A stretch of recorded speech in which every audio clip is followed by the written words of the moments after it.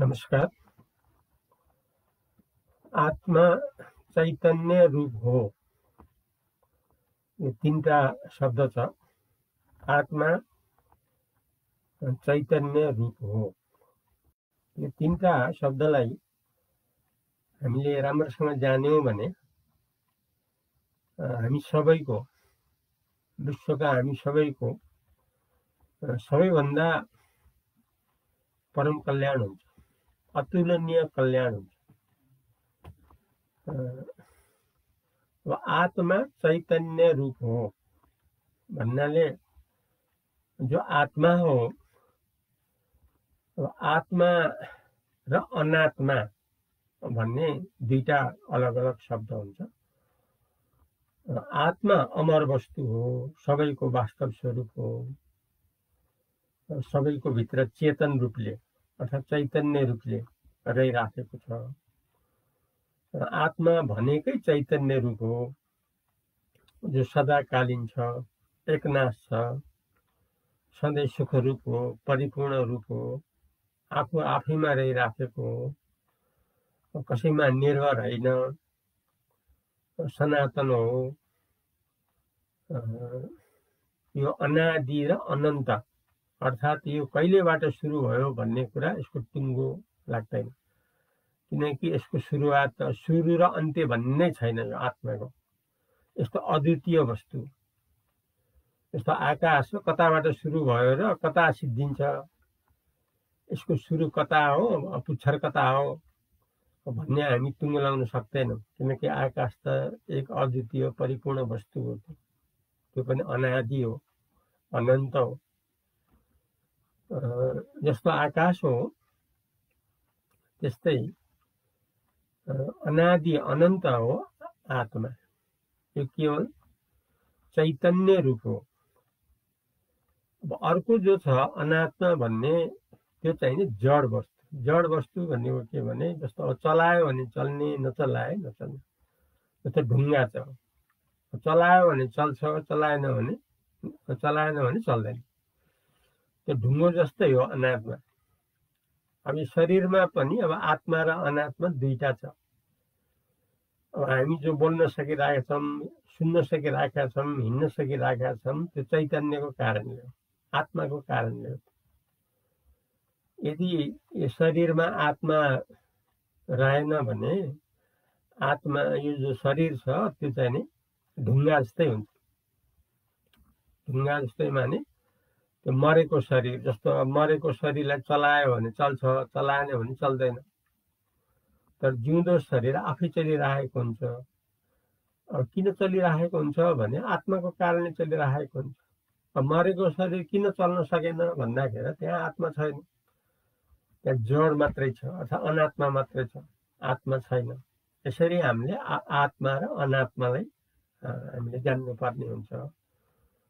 जो आत्मा हो त्यो हाम्रो वास्तव स्वरूप हो। जो अनात्मा हो त्यो हाम्रो वास्तव स्वरूप होइन। जस्तो अब यही शरीरकै दृष्टान्तमा।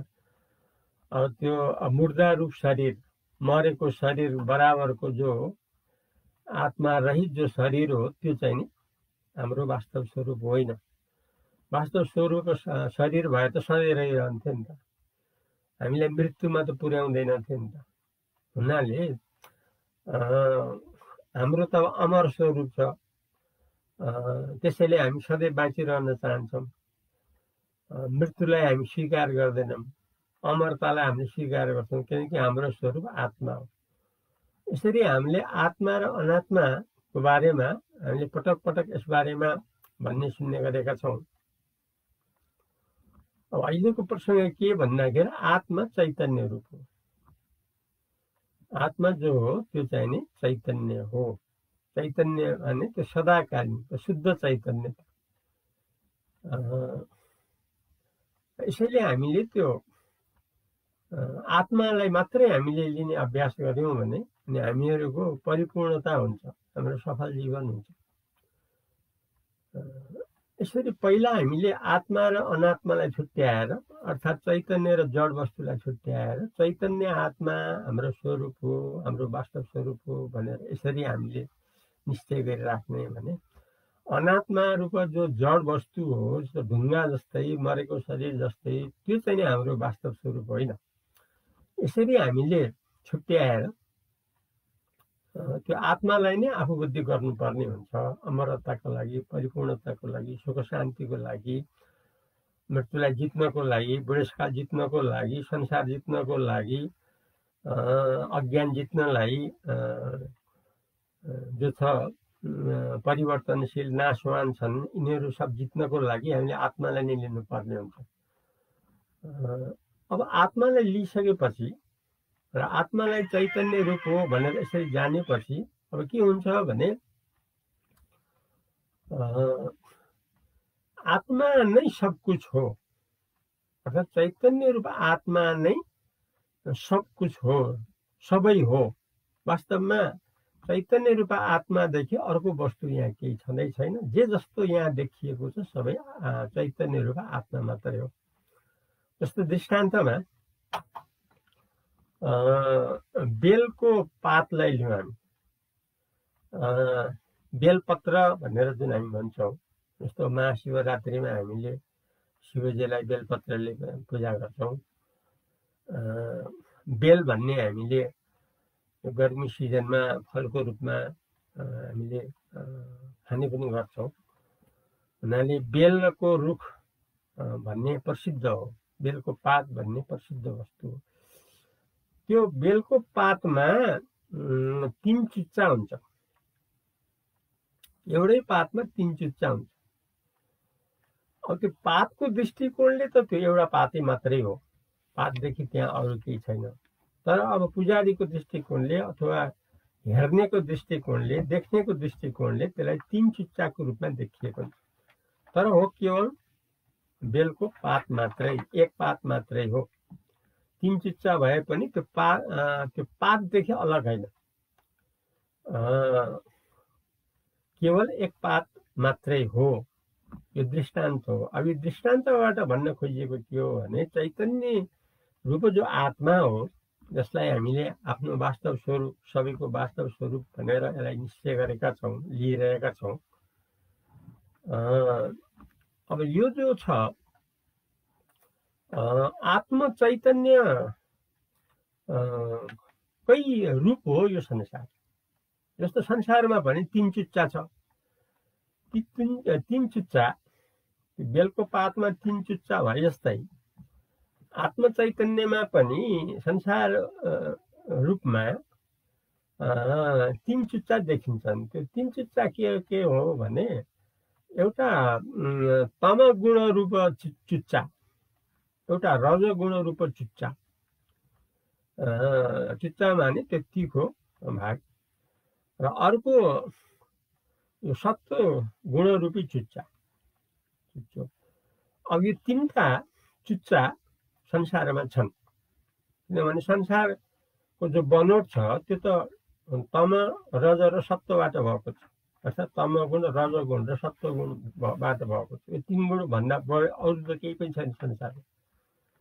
यो तिन गुण छ यो चाहिँ नि आत्मचैतन्यको तिन चुच्चा हो आत्मचैतन्यको दृष्टिकोणले यो अलग अलग होइन एउटै हो अर्थात् सबै आत्मचैतन्य रूप हो हामीले बाहिरी दृष्टिकोणबाट अज्ञानको दृष्टिकोणले तम गुण अर्कै रजगुण अर्कै सत्वगुण अर्कै भने तापनि आत्मचैतन्यको दृष्टिकोणले त्यो अलग अलग होइन एउटै रूप हो जस्तो बाहिरी अब देखिने रूपमा चाहिँ नि त्यो तमगुणी रूप चुच्चा रूपमा देखियो भने त्यसलाई देखिरहनु त्यो प्रक्रिया हो, त्यो रजगुणी रूपी चुच्चाले देखियो भने जो देख्नेवालाको जो भाव हो, त्यो चाहिँ सत्व गुण रूपी चुच्चा रूपले देखियो। यद्यपि अज्ञानको दृष्टिकोणमा, अज्ञानीको दृष्टिकोणमा यो तमगुण, रजगुण, सत्वगुण अलग अलग जस्तो मानि माने तापनि लिए तापनि तत्त्वज्ञानको दृष्टिकोणले अथवा आत्मचैतन्यको दृष्टिकोणले किनकि वास्तवमा त एक आत्म चैतन्य मात्रै हो। यो जो सारा छ त्यो त आत्म चैतन्य रूप मात्रै हो। जस्तो बेलको पातको तिन चुच्चा छ त्यो एक पातकै रूप हो। पातदेखि अलग त होइन नि त्यो चुच्चा। ठिक त्यस्तै तत्त्व ज्ञानमा एक आत्म चैतन्यको ज्ञानमा परमार्थमा तत्त्व ज्ञानको स्थितिमा ब्राह्मी स्थितिमा मुक्ति स्थितिमा यथार्थ ज्ञानको स्थितिमा के हुन्छ भने यो सारा विश्व ब्रह्माण्ड जे जस्तो देखिए पनि अर्थात् दृश्य रूप दर्शन रूप द्रष्टा रूपले देखिए तापनि तमरूपी रजरूपी सत्वरूपी देखिए तापनि आत्म चैतन्यको दृष्टिकोणले यी अलग अलग होइनन्। एक अद्वितीय अभिन्न हुन् यिनीहरू। जसरी बेल पातदेखि अभिन्न हुन् तिन चुच्चाहरू अर्थात् अभेद हुन् तिन चुच्चाहरू त्यस्तै आत्म चैतन्यदेखि अभेद हुन् तमरज सत्वरूप हुनाले यहाँ वास्तवमा आत्म चैतन्य मात्रै छ। सनातन भनेको आत्म चैतन्य हो जो सधैँ रहिरहन्छ जो सधैँ एकनाशले रहिरहन्छ। अब आत्म चैतन्य रूपले सधैँ रहिरहन्छ। आत्म चैतन्यको त कहिले पनि परिवर्तन हुँदैन कहिले पनि नाश हुँदैन। त्यो त अदृश्य भएर पनि सधैँ रहिराखेको वस्तु हो। अब अदृश्य माने दृश्य रहित। अब दृश्यमा के हुन्छ भने देख्दाखेरि साँचो जस्तो भए पनि त्यो देखिने कारणले रहँदैन। जस्तो शरीरलाई देखिन्छ नि देखिने कारणले रहिरहँदैन। भले त्यो देख्दा रहे तापनि त्यो रहँदैन। किनभने देखिनेको कारणले। अब आत्म चैतन्य के हो भने अदृश्य दृश्य रहित हो। त्यस कारण अविनाशी हो सदाकाल हो। किन चेतन भन्ने वस्तु जो चैतन्य वस्तु हो जो आत्मा वस्तु हो त्यो चाहिँ नि सधैँ चेतन रूपले सधैँ एकनाशले सधैँ परिपूर्ण रूपले सधैँ एक एक रूपले रहिरहेको वस्तु हो यो आत्म चैतन्य अर्थात् चैतन्य रूपले आत्मा। हामीले मुक्त हुन जो खोजेका हुन्छौँ अथवा मोक्ष हुन जो खोजेका हुन्छन् सधैँ सुख शान्ति पाउनलाई जो खोजेका हुन्छन् हुन्छन् त्यसको लागि एकमात्र आधार हो आत्म चैतन्यको राम्रोसित ज्ञान गरेर आत्मा चैतन्य रूपले रहिराख्नु। किनकि आत्मा चैतन्य सधैँ छ। हामीले जति बेला चाहन्छौँ हामीले पाइहाल्छौँ। किनभने सधैँ भएको वस्तु छ नि त। जस्तो मालामा धागो खोज्नलाई हामीले टाइम लाग्दैन। किनभने त्यो छेकिएको मात्रै यो थङ्गाहरूले। जब हामीले त्यसपट्टि ध्यान दिन्छौँ तुरन्तै पाइहाल्छौँ किनभने सधैँ छ नि। मालाको भित्र त धागो त कहिले पनि अभाव हुँदैन। त्यस्तै हामीहरूले खोज्ने बित्तिकै आत्मचैतन्यलाई जब हामीले जान्न इच्छा गर्छौँ त्यो रूपले रहिरहन खोज्छौँ तब हामीले तत्कालमा पाउन सक्छौँ। किनभनेदेखि सबैको भित्र त्यो मालाभित्र धागो भइराखे जस्तै हामी सबैको भित्र त्यो आत्मचैतन्य सधैँ रहिराखेको छ। भइरहँदा पनि नदेखिनुको कारण के हो भने त्यसपट्टि हामी वास्ता नगरेर वास्ता नगरेपछि त मायाले नाम रूप क्रिया देखाइदिन्छ तिनवटा रूप देखाइदिन्छ। तिन रूप भन्नाले एउटा चाहिँ आकार प्रकारको देखाइदिन्छ एउटा नाम रूपले देखाइदिन्छ एउटा क्रिया रूपले देखाइदिन्छ अनि त्यसले गर्दा त्यो भित्री जो आत्मा चैतन्य हो त्यो छेकिन गएको जस्तो हामीले मालामा फुलपट्टि दृष्टि दियौँ भने त हाम्रो धागोपट्टि दृष्टि कहिले पनि जाँदैन नि। तर हामीले यथार्थ धागो हो भनेर दृष्टि दियौँ भनेदेखि त हामीले तत्कालमा फेला पार्छौँ र सधैँलाई हामीले दृढ धारणा गर्न सक्छौँ। ठिक त्यस्तै धागो जस्तै आत्मचैतन्य हामी सबैको भित्र छ। सधैँ यथार्थ हो अविनाशी हो परिपूर्ण हो सदा सुखरूप हो मृत्युञ्जय हो।